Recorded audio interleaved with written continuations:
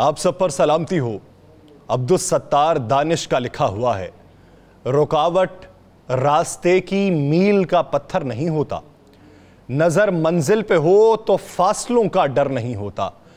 कला ईमान का मज़बूत हो तो सर नहीं होता। खुदा से डरने वालों को किसी का डर नहीं होता। भटकती है खुशी, खाना बदोशों की तरह दर दर जहाँ में मुस्तकिल उसका कहीं भी घर नहीं होता। गरीबी मुल्क में फैली हुई कैसे दिखाई दे? सियासी एनकों में दूर का नंबर नहीं होता। नाजीन मैं हूँ यासिर रशीद और आप मेरा व्लॉग देख रहे हैं। साहेब, सियासत बड़ी बेरहम है। साहेब, ये रिश्तों का लिहाज नहीं करती। ये भरम तोड़ने में पल नहीं लगाती। ये रकीब को करीब लाने में भी लम्हा नहीं लगाती। और साहेब, ये घरों में कब फूट पड़वा दे? किसकी सियासत कब मरवा दे?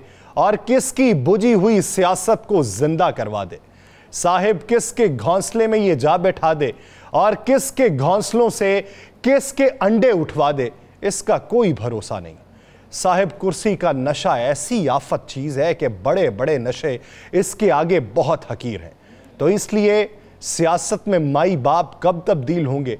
ये कुर्सी के मिलने और ना मिलने पर मुनहसर है। कल शरीक chairman Pakistan peoples party Asif Ali Zardari के बयान का तस्करा किया था, जो नब्बे दिन वाली कहानी से निकल कर आइन की तर्जुमानी की बात कर रहे थे। वो कह रहे थे कि इस वक्त सियासत की नहीं, मीशत बेहतर करने की ज़रूरत है। सबक सदर आसिफ अली जरदारी ने कहा कि इलेक्शन कमीशन आइन के मुताबिक इलेक्शन करवाए। हफ़्ते को पीपल्स पार्टी की जानब से जारी किए गए बयान के मुताबिक सबक सदर आसिफ अली जरदारी ने कहा कि मरदमशुमारी के बाद इलेक्शन कमीशन नई हल्काबंदी करवानी है पर पाबंद है। आसिफ अली जरदारी के मुताबिक निगरान हुकूमत एस आई एफ़ सी के मनसूबों को जल्द अज जल्द मुकम्मल करके मुल्क को तरक्की की राह पर डाले और जब उनके फर्जंदे अर्जुमन से इस बाबत सवाल किया गया तो बदीन में मीडिया से गुफ्तगू करते हुए बिलावल भुट्टो ने कहा कि वो सियासत में पार्टी की सेंट्रल एग्जेक्टिव काउंसिल के फैसलों के पाबंद हैं। घर के मामलात पर आसिफ जरदारी की बात मानेंगे। घर के मामला पे उनकी बात मानने का पाबंद हूँ। जबकि अवामी मामला और सियासी मामलात पे सीईसी की बात और अपने कारकुनान की बात मानूँगा। कहते हैं कि सीईसी ने नब्बे रोज में इलेक्शन की बात की है तो उसी बात को अहमियत दी जाएगी। अब जरा आप माजी को जहन में लाएँ।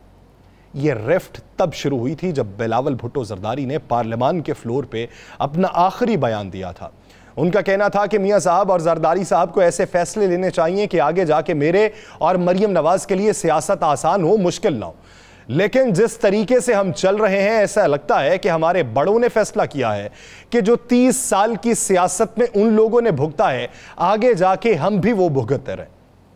उनका यह भी कहना था कि मैं आखिरकार रूल्स ऑफ़ द गेम्स आपस में तय करने का ख्वाहिशमंद हूँ कि किसी चार्टर या कोड ऑफ़ कंडक्ट के तहत ना सिर्फ़ सियासी जमातें आपस में सियासत करें, बल्कि हमारे इदारे दूसरे इदारों के साथ चलेंगे। उसके ऊपर घर से अहकाम और आए थे। लेकिन बिलावल भुट्टो जरदारी कुछ और बोल चुके थे। उसी दिन से इस रिफ्ट का आगाज़ हुआ था। उसी दिन से जब रिफ्ट का आगाज़ हुआ तो एतजाज एहसन साहब वाले मामले के ऊपर भी बातचीत हुई। एतजाज एहसन साहब वाले मामले के ऊपर बहुत सी जगहों से बयान देने की बातें आती रहीं।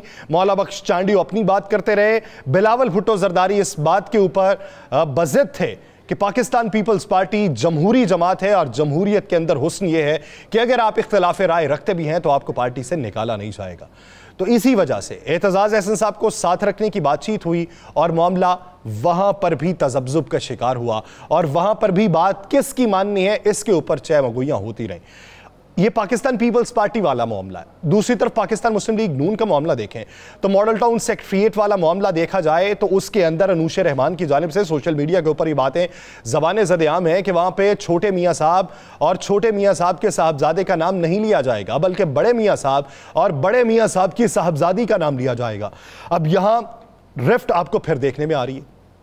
पाकिस्तान पीपल्स पार्टी में देखें तो चेयरमैन बिलावल भुट्टो जरदारी हैं और बिलावल भुट्टो जरदारी कहते हैं कि आसिफ अली जरदारी साहब की बात को मानना घर तक महदूद है।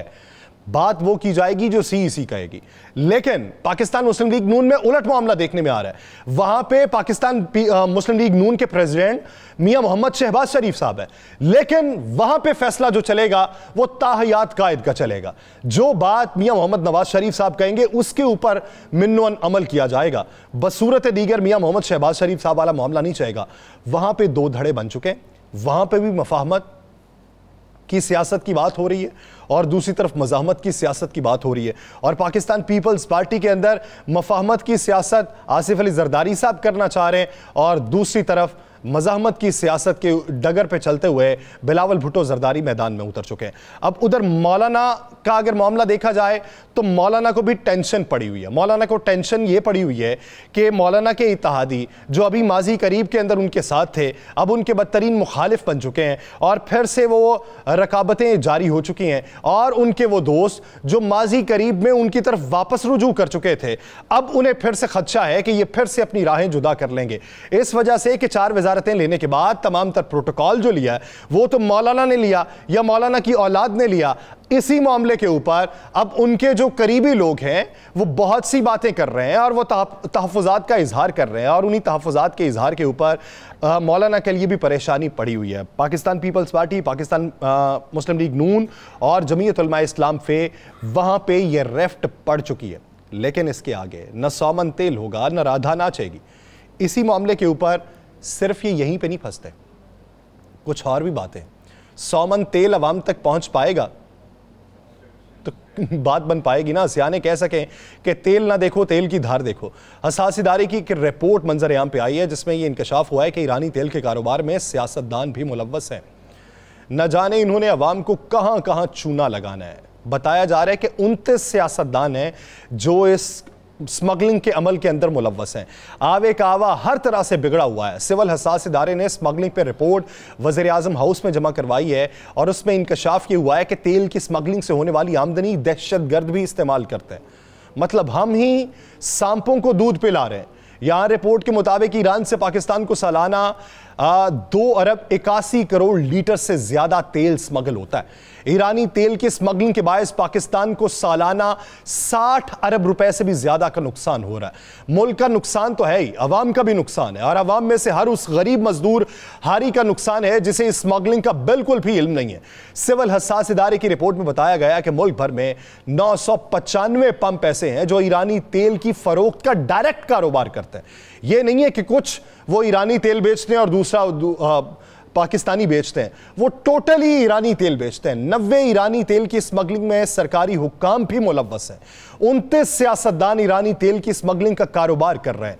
रिपोर्ट में यह भी इंकशाफ हुआ है कि पाकिस्तान स्टेट ऑयल यानी पीएसओ की गाड़ियाँ भी ईरानी तेल की ट्रांसपोर्टेशन में मुलवस होती हैं। ईरान से तेल ईरानी गाड़ियों में स्मगल होकर पाकिस्तान आता है। तेल स्मगल करने वाली ईरानी गाड़ियों को जमियात कहा जाता है। और उस रिपोर्ट में यह कहा गया है कि पाकिस्तान में करेंसी डीलर हवाला हुंडी के जो अफराद हैं, वो उसमें भी मुलवस हैं और ये 722 के करीब है। सबसे ज़्यादा 205 डीलर जो हैं, वो पंजाब में खैबर पख्तूनख्वा में एक सौ तिरासी हैं। सिंध में जो है वो 104 है, बलोचिस्तान में तकरीबन 176 हैं, कश्मीर में सैंतीस हैं, इस्लामाबाद में 17 डीलर्स जो हैं वो हवाला हुंडी का कारोबार कर रहे हैं। निगरान विफाकी हुकूमत ने सूबाई हुकूमतों के साथ मिलकर मुल्क भर में बड़े पैमाने पर डॉलर्स और दीगर अशिया की जखीरा अंदोजी में मुलवस अफराद के खिलाफ क्रैकडाउन शुरू कर रखा है। हूँ सारे फड़े जान के बिजली और गैस चोरों के बाद टैक्स चोरों की भी बारी आ चुकी है। बड़े सनतकारों प्रॉपर्टी डीलर सप्लायर्स की फहरिस्तों की तैयारी हो चुकी है और फेडरल बोर्ड ऑफ़ रेवेन्यू के मुताबिक क्रैकडाउन का फॉर्मूला बन चुका है। सैकड़ों अफराद को नोटिस जारी हो चुके हैं। नोटिस, यूटिलिटी बिल्स, बैरून मुल्क सफ़र और बैंक तरसीलात की बुनियाद पर इरसाल होंगे और नोटिस का जवाब एक हफ़्ते के अंदर दाखिल कराना लाजिम होगा। जमा करदा टैक्स और ज़ाहिर करदा असासों और बैंक बैलेंस की तफसीलात चैलेंज की जाएँगी। गाड़ियों, प्रॉपर्टी और फैमिली अखराज पर भी पूछगछ होगी। जवाब में गलत बयानी करने पर दूसरा नोटिस जारी होगा और दूसरी बार गलत बयानी पर गिरफ्तारी के शेक भी शामिल कर दी जाएगी। टैक्स नोटिस को अदालतों में चैलेंज करने वाले सर होंगे। बिजली चोरों के खिलाफ मुलगीर ऑपरेशन जारी है। शहर शहर कार्रवाइयाँ खैबर पख्तूनख्वा में छह अफराद गिरफ़्तार हो चुके हैं। छियासठ पे मुकदमा दर्ज हो चुका है। अट्ठारह लाख रुपए के वहाँ पे जुर्माने हुए हैं। डी आई खान मरदान सवाद बन्नू हजारा में दो सौ बयासी कुंडे काट दिए गए। यहाँ पे सिर्फ़ कुंडे ही नहीं काटने, पकड़ना भी है। पेशावर के एक दर्जन से जायद पुलिस स्टेशन कुंडे पर चलने का इंकशाफ हुआ है। यहाँ पे अवाम ने कहाँ पे जाना है? कहाँ पे जाके दादरसी होगी?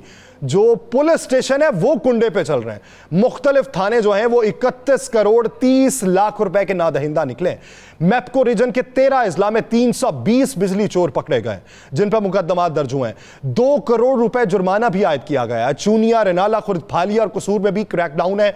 लाखों रुपए के जुर्माने किए गए हैं। सिंध में सेपको, हेस्को की कार्रवाई है। सैकड़ों गैर कानूनी बिजली कनेक्शन मुनकता कर दिए गए अब ज़रूरत इस अमर की है कि जहाँ पता चले कि यह थाना जो है यह कुंडे के ऊपर चल रहा था। पता चले कि यह सियासतदान बैरूनी स्मगलिंग के अंदर मुलवस था। पता यह चले कि इस इदारे का यह अफसर इन कामों के अंदर मुलवस था। तो बिला तफरीक कार्रवाई कीजिए, आपको सराहने वाले बहुत होंगे। बसूरत दीगर हमने जिस हद तक मफलूक हाली देख लिया और हमारे ऊपर जिस हद तक जुल्म सितम हो चुके हैं, अब तो हमारे हलकूम से भी आवाज़ नहीं निकलती। लोगों को शूर दीजिए, लोगों को बताइए कि पाकिस्तान के अंदर कानून की हुक्मरानी होगी, लेकिन कानून की हुक्मरानी के लिए, कानून का सबके लिए बराबर होना ज़रूरी है। मुझे दीजिए इजाज़त। अल्लाह ने के बाद।